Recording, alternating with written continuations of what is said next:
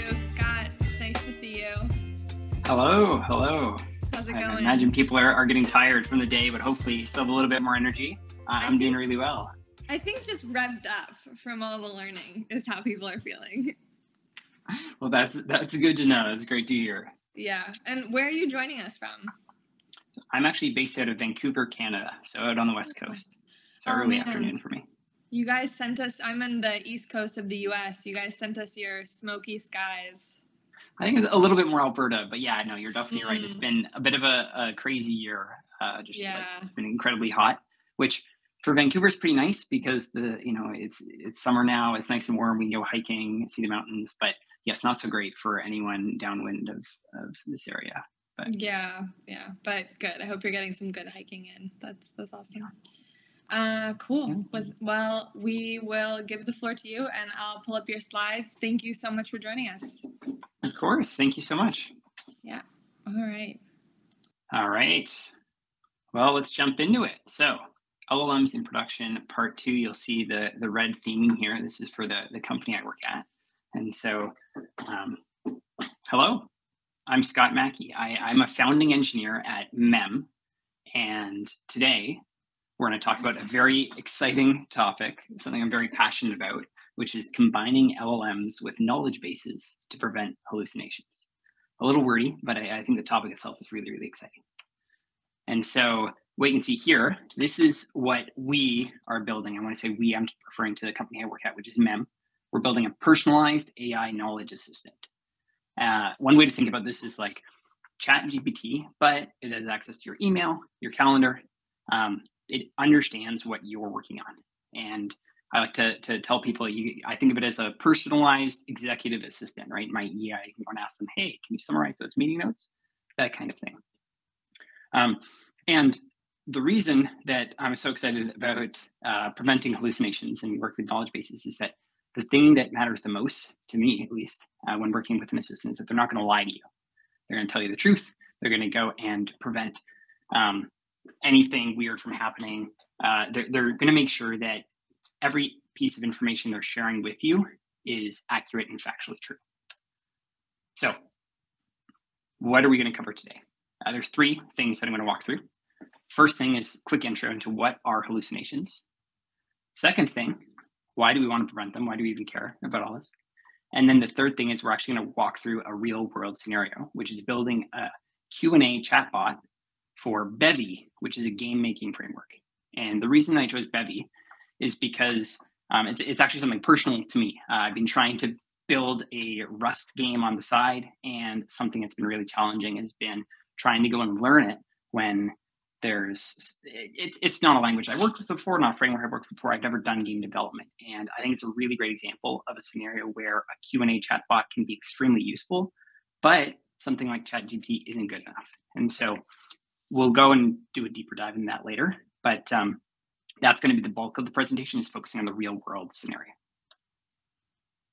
Maybe one thing to add to this section is that I'd love for people to take away from today uh, that this is something you can go and build yourself, right? It's not extremely challenging, and you can actually use this set of slide decks in this presentation as a reference or guidebook for actually taking all of these, you know, different different learnings and applying them to your own work.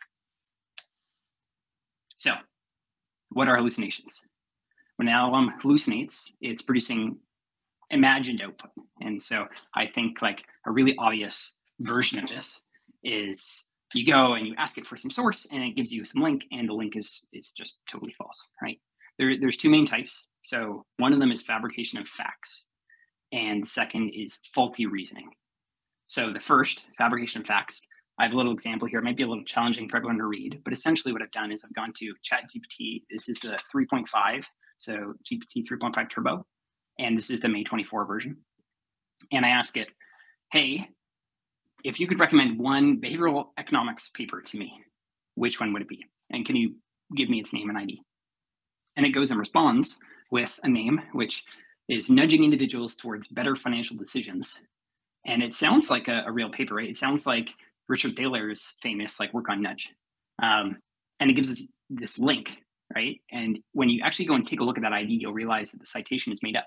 It's not the correct paper, right? This paper, I, I can even find one that has the exact matching name online maybe it's somewhere, but it's very like challenging to go and actually track down if it does exist. And, and you can just tell like the LLM has just lied to me about this being a proper source. Another example of hallucination, is, I really like this one here, which is also the ChatGPT 3.5 model, but this is an example of faulty reasoning. So I go and ask it, hey, suppose I've got two pounds of feathers and one pounds of bricks. Which one weighs more, right? Two pounds or one pound, right? Two pounds should weigh more. It should say, yes, the feathers weigh more. But it goes, it describes the rationale, and it says, no, the feathers are going to be lighter and you know they don't weigh more than bricks, right? Which is just an example of faulty reasoning.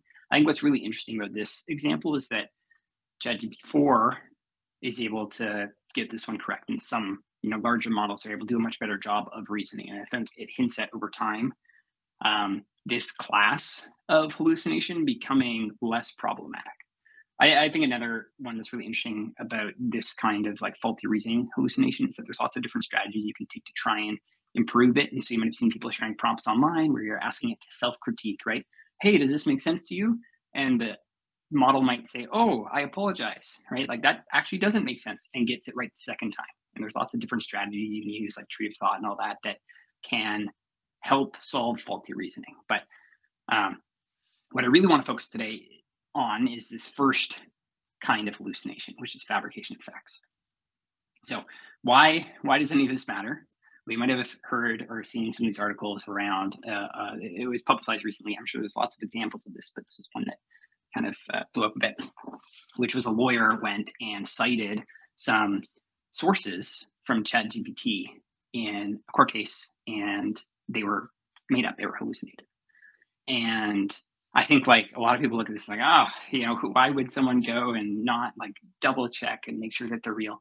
But I think that what I find really interesting is that it's clear that this is a use case, right? This is something that's valuable to people is being able to go and use these tools for research purposes. There's some utility there.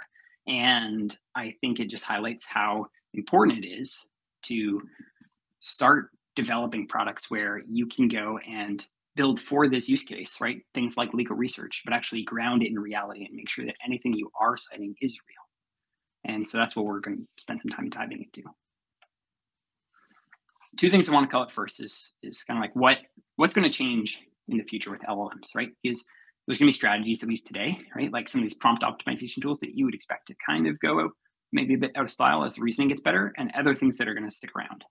Um, one thing that I think we're going to see improve, and and ironically, it has recently is improved instruction following. And so, anyone that might have seen, I think it was uh, last day or two, OpenAI announced a few um, new language models that had better instruction following capabilities. And what's really useful about this is when you go and ask it to perform certain tasks. So only respond with you know two words or respond in the JSON scheme format, that kind of thing. They're becoming a lot better at doing that. And so it's much easier to build products on top of tools that are going to follow the instructions that are provided in the prompts or system messages or, or however you're prompting it. The other things that I think we're going to see improve reasoning. So I talked a little bit about that. And then larger context windows. We've already seen this with some models like Claude's uh, like 100K token model and some that might even be larger now. Um, this one's really interesting because it means that some things like compressing documents or having really good information retrieval systems where you're like getting the exact document that has the right data, those are going to matter a little bit less because we'll be able to stuff more in the context. You can build products that have like, you know, longer chat histories, that kind of thing without having to go and do a bunch of extra engineering on top of it. And so um, really excited for that to become more common. And then something I'm not going to spend too much time talking about today, but I, I just want to call out is that fine tuning is going to become a lot more simpler, right? There's lots of companies building in the space trying to help people take maybe their thousands or tens of thousands of user feedback examples and fine tune models for specific use cases like classification. Um, I think that fine tuning is really interesting for some things, um, but for generative text, it's it, it, struggles in some areas, specifically when you're trying to go and have something that's factual, right? Like you need to be 100% true. It's not great at that. Um, what one kind of side note throughout the presentation, I've linked a couple like further reading notes. And so I'd encourage people after, if you're interested in any parts of it, to go and read some of these papers. I think the AI space is something that is very unique uh, in that within the last two years, there's been so so much new information that uh, reading papers can be really valuable to understand what's the bleeding edge, what direction are things heading, and so on. And so, um, one thing I encourage people to do. Yeah. So, improvements. What's not going to improve? I think the main thing that is not going to change is the fact that IR systems or information retrieval systems are still going to be required, right? So LLMs, they won't have access to real-time data. I think a really simple example of this is I might go and say, hey, what's the score of the basketball game right now, right? That's like a piece of data that I probably want that to be down to like 30 seconds or maybe a minute delayed, but more than that, I'm going to be kind of unhappy. LMs, there's not really good capabilities now to go and get that data into the underlying like model weights, right? You, you actually need to get into the context somehow. And that's going to likely be with some kind of information retrieval system integrating with APIs, that kind of thing. The other thing that the improvements won't solve is 100% trustworthiness. And I think that we're going to get a lot closer to this. I think Yann LeCun has a really interesting presentation on like autoregressive models and some of their limits. And I think that um, it's clear that at the end of the day, when a fact is produced, you want to be able to point to one or more sources for that fact. And something that the LLMs today struggle with is is being able to go and say, oh well, you know, I ingested all this training data. I'm not exactly sure where this came from. Whereas when you're building systems that are maybe a little bit more agentic, right? You've gone, you've gotten some documents, you put them in the context. It's much easier to say, oh, this fact came from here, here, here. Here are some sources, right? Obvious examples are like, um, you know, Bing chat, uh, will go and cite like which websites pull data from, that kind of thing. And and you know, to to maybe reiterate, that's a big part of this talk and like why it's valuable is that this strategy and some of the things we talk about are going to continue to be useful in the future. And when you're building these systems, you're going to need to be thinking about this. So, real world scenario. We're actually going to dive into it now. Um, building a chatbot to teach us about a topic, right? A product, whatever it is. In this case, I'm going to use Bevy which is a game making framework written in Rust. I'm not really familiar with Rust. I've worked in a number of languages, but it's not one I've really been exposed to that much. And um, again, like this, this strategy could be used for many different systems where you're trying to do the same kind of thing. And so you can imagine a product where they have a help support center, right, with a bunch of different documents, like some knowledge base. That's going to be very similar to this if you're trying to go and, and build on some other tools where they're just like a bunch of facts that you want to query over, right? Things like chat PDF, right? All of these strategies are going to be very similar. Um, the reason I'm excited about Bevy again is because I've been trying to go and build a game and learn how to use Bevy. And one of the first things I did was I leaned for ChatGPT and said, hey, right, like I can use this great tool to help me learn what APIs I should be using. How do I go and render sprites? How do I go and make like the, the very performance, so on. The problem is that all of the data is out of date for the current versions of Bevy. Um, I think ChatGPT has data from 2021, and the Bevy framework has been updated like 100 times since then, and lots of the APIs have been broken. And so every time I go and generate something, I get some error, and it can't help me with the errors because it doesn't know about the newer APIs. Um, so it's been frustrating because it feels like there's this great tool, but I can't really leverage it for for my purposes. And so that's what inspired me to go and put this together. Um, so the, the main thing that, that I want to make sure is happening is how do we avoid hallucinations and make sure that it's telling me truthful things that I can use. When you're trying to build this kind of system, the very first thing that you need to do is provide the chatbot access to some knowledge base, right? And so a knowledge base can like it's it's kind of a vague word, uh, but I think generally it can refer to a bunch of information um, in multiple formats, right? So it could be facts in a list, it could be documentation, it could be files, it could be website, support center, that kind of thing. And essentially what we're just trying to do is like collect it into one spot so that the chatbot can reference it. In this example, I'm using data from three sources. So there's web tutorials, which is the Bevy website. There's the docs and code examples. And so when you actually go and take a look at Bevy, they got lots of examples, building like a breakout game, that kind of thing. And then the GitHub FAQ. Um, the GitHub FAQ is really interesting because this is actually live data that is, you know, you could download a snapshot of it, but ideally would you actually be able to use the GitHub APIs to interface with it. And so um, I've kind of split them out into two strategies. One is downloaded the web tutorials and docs and code examples, so snapshot in time, right? In, in this example, as we're working through the chatbot, this is actually some code that I've written. I plan to share it later this week. Um, just open source it if anyone wants to go and take a look at it. And recently went and took a snapshot of web tutorials and docs of code. And then the GitHub FAQ is actually integrated using an API. Um, the second part right? So once we've got all the information from the chatbot reference, second part is building guardrails so the chatbot is only responding with answers that are grounded in reality. And what I mean by that is we want to make sure that whenever you're asking questions, it's using data from the knowledge bases. It's not pulling data from its that it's encoded in its training weights, right? We actually want to be able to point to some source. I think uh, an example that I like to think about is you can imagine um, you know someone in uh, they, they can't speak right all they have access to is is knowledge base files all they can do to answer your questions is point at things i think that's a really good way of like mentally modeling this out is you want to go and build the system so that it's always pointing at something and then it's going to be grounded in reality it's not making something up um, what, one example i want to highlight on these slides is the math example here so what is 2 plus 2 because it feels like why why would you not let the bot do this, right? Like it's going to be able to know, you know, ChatGPT can do basic math, right? What is two plus two if the user wants to know that? Why are we going to deny that functionality from them? Why would we say like, you know, oh no, you can't do this? The reason is all about setting the right expectations for the user, right? So if you're thinking of user experience, if you're answering some math problems, right? Two plus two, to the power of nine, right? And then you ask it something like, what's the, you know, is one, two, three, four, six a prime number?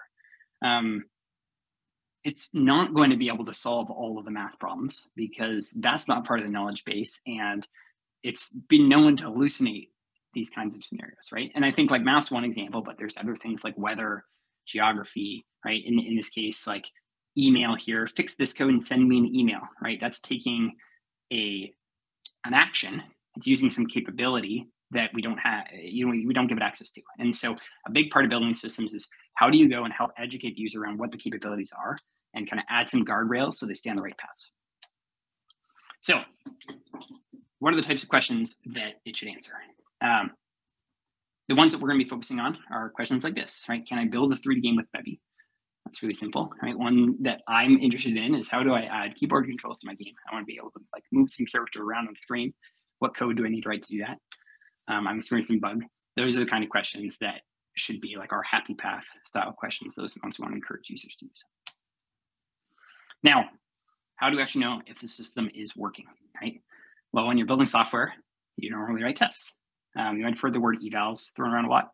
I think that, that is like a more advanced version of this essentially. But um, our goal is to be able to go and say, given some inputs, we're able to go and validate the outputs.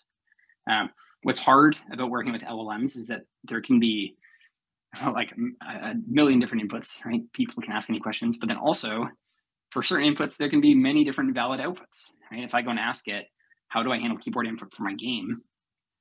There, could be a, a ton of different valid answers. And so something that's important when you're trying to evaluate the system um, is that if you're writing some tests, you want to go and try and isolate what the important parts of the system that you want to validate are. And so in this case, there are two main things, right? When I'm asking this question, I want to understand how do I handle key presses? Someone press key. And how do I connect all this to the game state so it's all wired up? So this here, this is a, like the first screen here showing the example chatbot, right? This is just a CLI tool. Again, I'm going to share some code if someone's curious. Obviously, it's not very pretty, but it's meant to try and simplify the system as much as possible. And what you can see here is like I asked some question, how do I handle keyboard input for my game? And it gives me a response. What the eval should be looking at is certain pieces of it, right? And so here I'm saying, oh, you know, this here add system, keyboard input system, right? That's the handler, it's registering the handler. And then the key press handler, right? So key code left, that's saying, oh, you know, this is how I go and set up key codes and key commands that are going to work with the system. Um, so if you're actually like writing a test for this kind of thing, you want to try and match it. And right, it's going to be a bit of a fuzzy match, not going to be perfect. Right, your test might be a tiny bit flaky, but I think that's okay because the main goal of the eval systems is to go and evaluate improvements over time. Right, if you're adding new capabilities, if you're changing parts of the system, you're changing prompts, is it becoming more or less accurate? as you have more and more evals, it's going to matter less about like one specific one during one test run. It's more just helping you build in a specific direction. Yeah. Another example is the unhappy paths. And so, uh, what is the capital of Canada? Right. This is a question that ChatGPT would be able to answer, um, but we explicitly want to make sure it's not answering this because again, we want to go and reinforce that we're not a geography bot.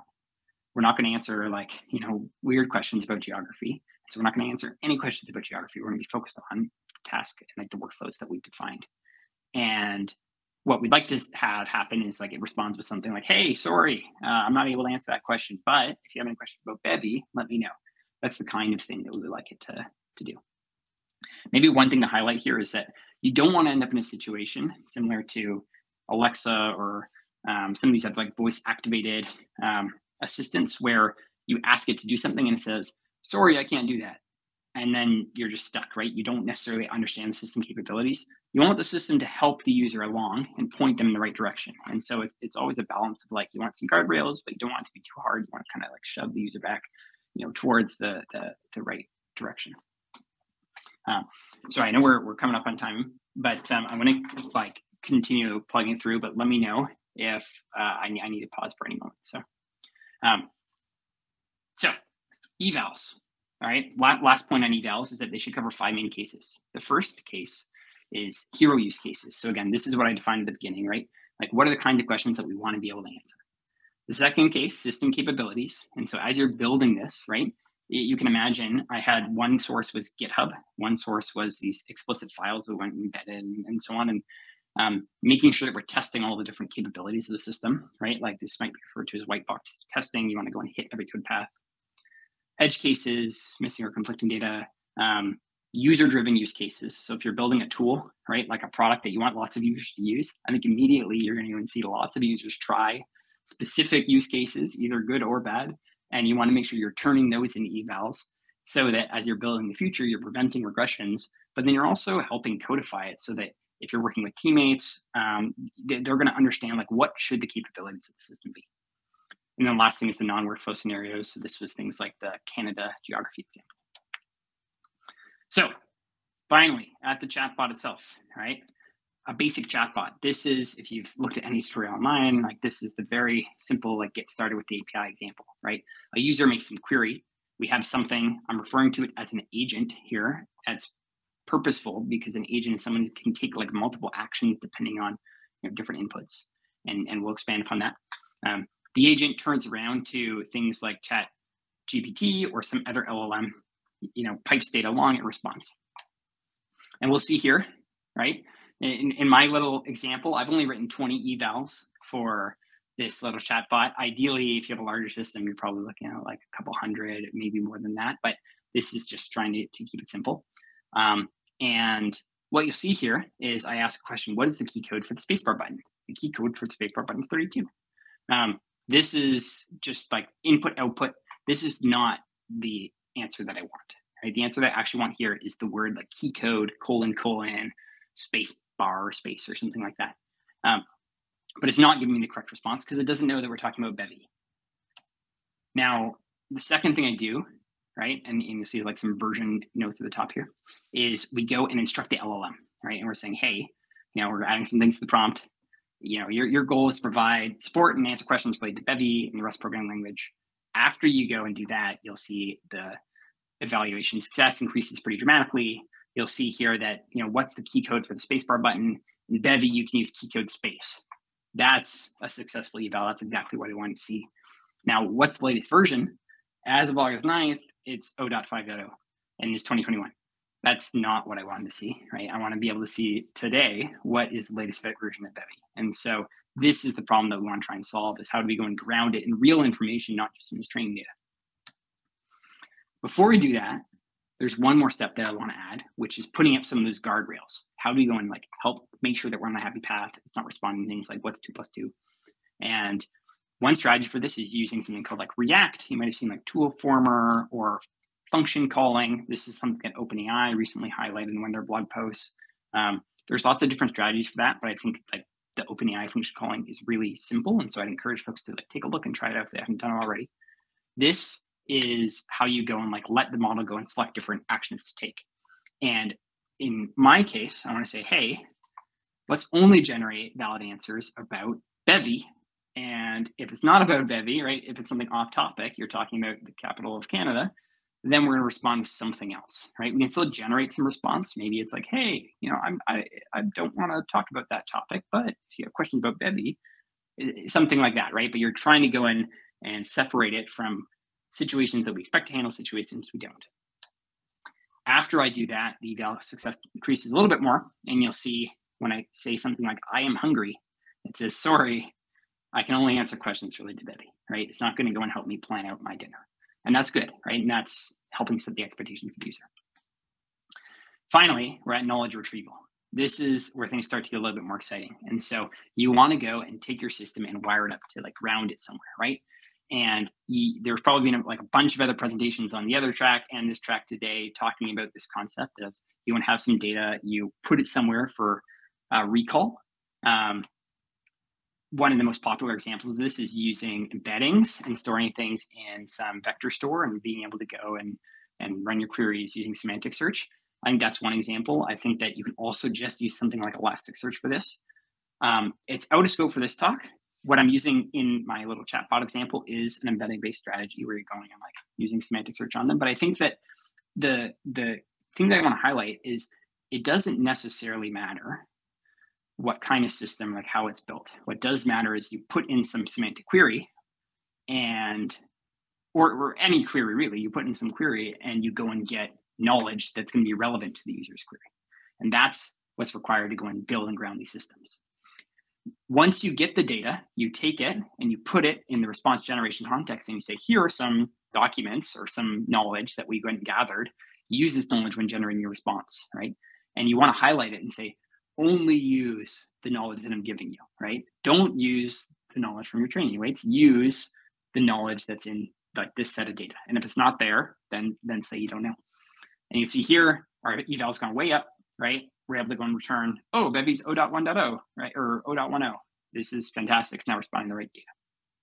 A couple more improvements we can make to this kind of system are tool-based knowledge retrieval. And so this is taking that similar approach we just used, right? React, where you're going to go and plan and you're going to say, hey, given this question, where do I want to go and look for the data? Do I want to go to the docs that are stored in this document store, or do I want to go and look at the GitHub FAQs? And that just happens to be another source for our knowledge base, like another source that we can query. Right? There's some great papers. I think Gorilla is like a really interesting one. Um, but um, that does a really good job. And you'll see that there was about like 10% two of our evals who were actually using data that was only retrievable via the GitHub FAQs. And so our success rate increased here.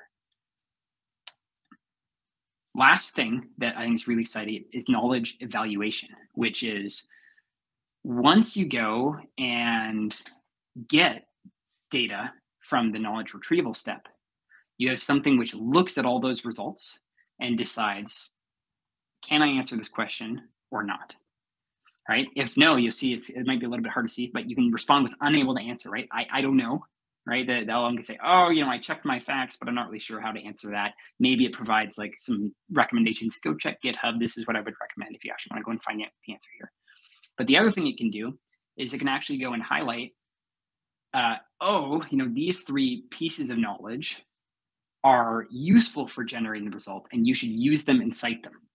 And what this looks like uh, uh, as an implementation is that now when it goes and finds that one document that was mentioning Bevy's version 0.10, it goes and it grabs it and we'll go and return that. Um, so if you take a look here, right, the knowledge evaluation step will turn around to the response generation step and say, hey, there's this specific file, use it in your generate prompt, put it in your citations. And then you can go and see like system here again, the UI is not beautiful, but it goes and says source one came from this file. All right, our eval rates are, are up again. Um, another case here, this is when it's saying, hey, I didn't find any information. You can try looking elsewhere, right? That, that was that red path where it said, I don't know, it's unable to answer the question. Now, even with all those improvements that we've done and, and put in place, um, it's still not entirely comprehensive, right? It can't solve every situation. In, in this case, it doesn't really understand temporal queries of, oh, you know, what was a notable feature from 2022? That's why our eval rate is not 100%. And I think like the percentages here, again, don't really matter that much. Um, it's really just meant to be an indicator of are you moving the right direction, right? Over time, I'll be adding more evals to this. The eval percentage is going to go down. I'll add more capabilities. It'll go up, right? And so it's really just meant to be as a marker for are you improving? Are you getting better at the use cases that you want the user to use? So nearly done. Two last things. Um, future improvements. There's a bunch of potential ways you could take this next, right? I think the ones that are most exciting are introducing some kind of planning or task loops, right? If you have multi-hop queries where you need to go get data from here and here and here and combine it, that's something where a task loop comes in play in, in handy. If you want to go and um, enhance the quality of retrieval. There's some really interesting things where you can pre-process the documents that you're storing in the system, right? For you know those examples where you're storing the, the code files, uh, temporal querying. That was the example we looked at, and then one that's really challenging: resolving conflicting data. So if you have different things from multiple sources, how do you handle that? That one's really tricky. Um, and then improving observability and interpretability, right? Like when you're looking at the bot that I was showing, you can't really understand what it's thinking, what decisions it's making. Um, I think some things like the ChatGPT plugin system is trying to do that and go and like highlight a few things, but it's not perfect, right? It feels like there's better, um, some better UX out there, and I think there's more exploration to do there. Uh, quick plug for Mem. If any of these are interesting to you, I think every single one of these, everything that we work through, those are the kinds of challenges that I'm thinking about every day, working with the team on. And so, if you're interested in joining, I would recommend checking out our careers page. So, Last thing, right? The two levers, two things that are really important when you're building these kinds of systems, providing access to the knowledge base, right? There's a bunch of ways to do that, but that's the most important thing. And it should be using that data in its responses, and it should only be using that data in its responses. And the second thing is the guardrails, and that's just to help bring the user to the spots where you have knowledge so they're not asking all these questions that you're just not going to be able to answer. And that was a bunch of stuff. We're a little bit over time, um, but uh, I have a link here the bevybot.chat is where I'm going to go and share some of this stuff after. It'll just be on GitHub. That's just a, an easy link. Um, uh, I don't know if anyone has some uh, questions. I'd be happy to answer, but I know we're a little bit over. Awesome. Thank you so much, Scott. Um, you said there was a link you were going to share. Did you want to? Uh, uh, yeah, sorry. So uh, in in this here, you can see HTTPS slash slash bevy dash bot dot chat. That's where it's going to okay. be shared. It'll reiterate. I haven't uploaded the code there yet. i Got to clean up just a tiny bit before it's ready for public. But um, over the next couple days, I'll go and share it there, and I encourage people to go and, and check it out. Okay, awesome, awesome. Um, I think one question I'm seeing in the chat from Apurva, who is uh, one of our fearless MLOps community leaders in Toronto, she's asking, how do we add in evals? Is it mostly through prompt engineering?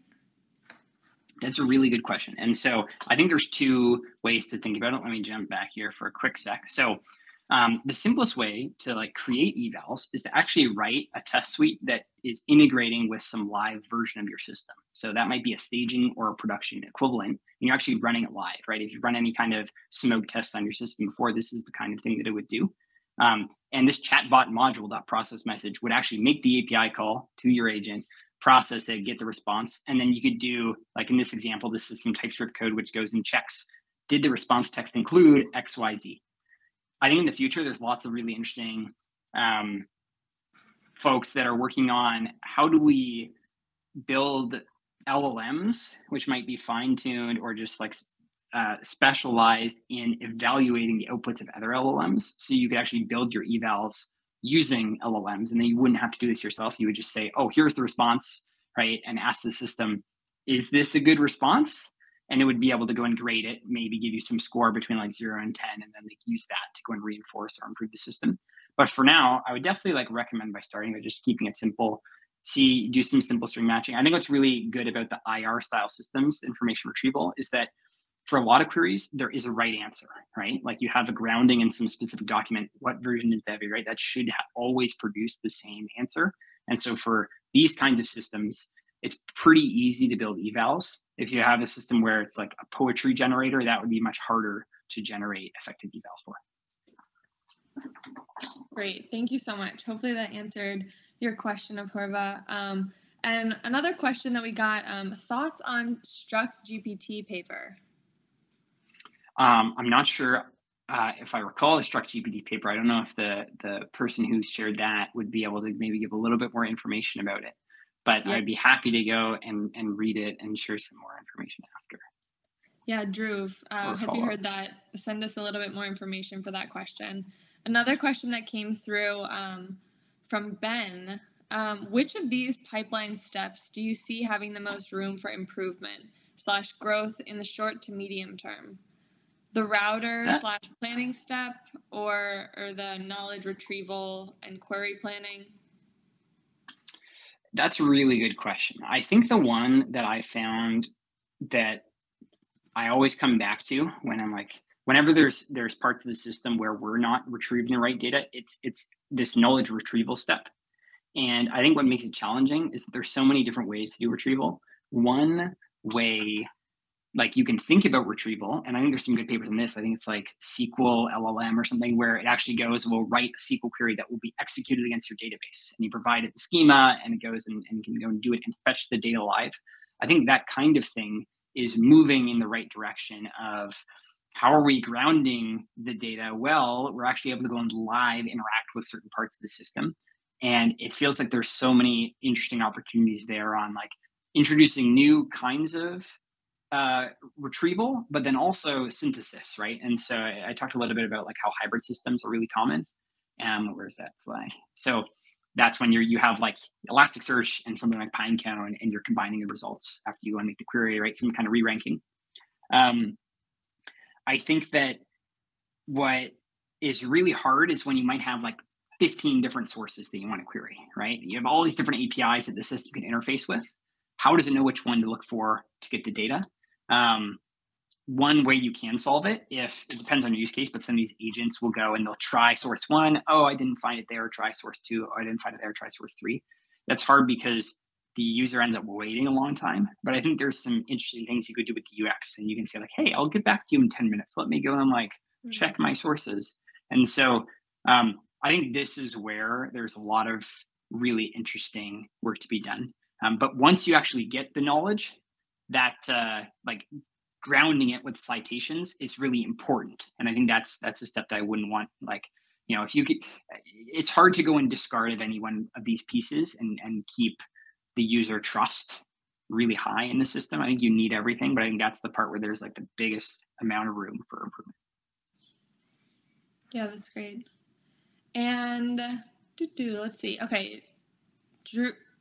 I'm, I'm I know I'm pronouncing your name wrong, Drew. So I apologize. Um, but Drew followed up on his Struct Club uh, Struct GPT question uh, by saying, um, by saying knowledge graphs being integrated into LLMs through tri- triplet mining.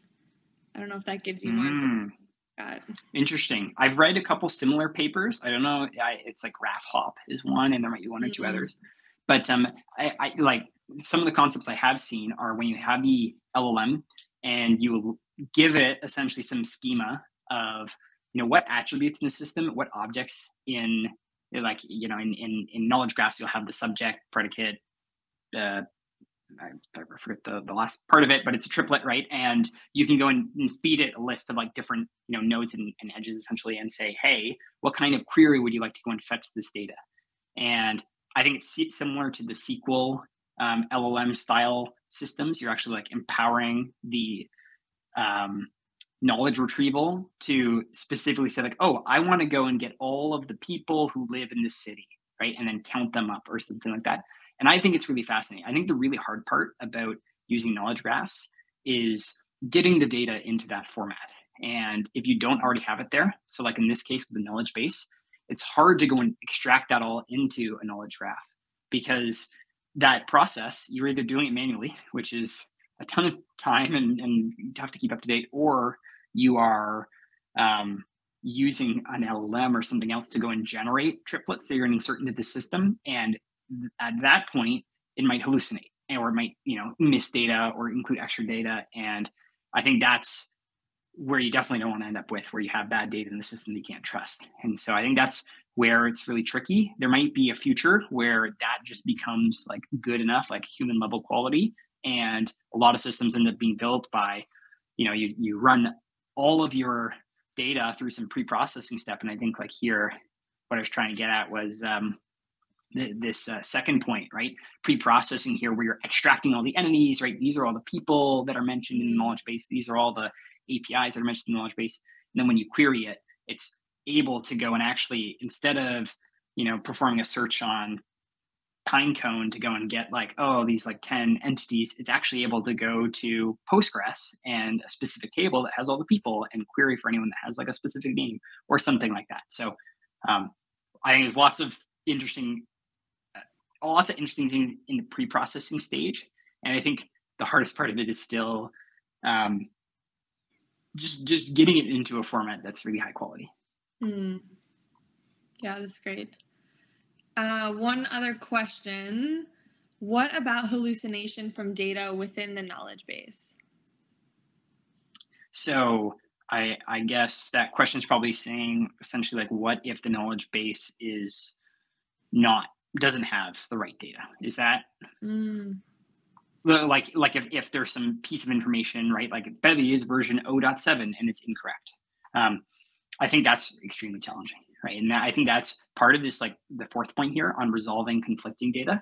You might have two documents, right? Imagine you're running like an e-commerce store or, or, a physical store, and you have some store hours, right? Like 9 a.m. to 5 p.m. And then you have another document that says, you know, like on holidays, we're like 9 a.m. to 3 p.m. And helping the system understand the difference between the two is really challenging. And, and so the approach that I found best is you can imagine something like this part of the system, the knowledge evaluation, where it it has it doesn't just have unable to answer, but it has another one where it says like conflicting sources. And it actually responds to the user. It says, Hey, I found two different sources. Here's source one, here's source two, look at them yourself. Right. And says, I don't really know, but I'm just gonna like try and let you decide. That's what mm-hmm. you like I, I encourage. I think um, the WikiChat paper is really interesting. They don't use this specific approach. What they do is if they find conflicting data or data that they can't, um, uh, what's the word? Like they can't uh, prove. Essentially, they're like they, mm. you know, mm. the the the system has made some statement that I don't have any proof or citation about. It'll just remove it from the output altogether. Um, just because it wants to make sure the output is only ever referencing things that it can say are true. So, uh, not really a great answer, but it's you, I think just like helping the user understand why it's saying certain things so mm-hmm. that it's really easy for the user to do the fact checking. Yeah, that makes sense. Uh, Petros, I hope that answered your question a bit and feel free to follow up if you want more information. Cool. Well, thank you so much, Scott. I think you're closing out the day. Um, and this was awesome. And it looks like there might be a few more questions, but I'm going to send you over to the chat to answer those if you don't mind. That would be great. I actually do apologize. I do have to hop off. Um, I have a, a, work thing I need to run to. But if anyone has any other questions, please, please send me an email. You can either reach me on work email at scott at mem.ai or my personal at scott at mackie.live. And so I think my mem.ai should be in my profile. But happy to answer any questions over email or add me on LinkedIn or something like that. So thank cool. you. Thank you so much. Thanks for having me as well. Thanks so much. So long. Yeah.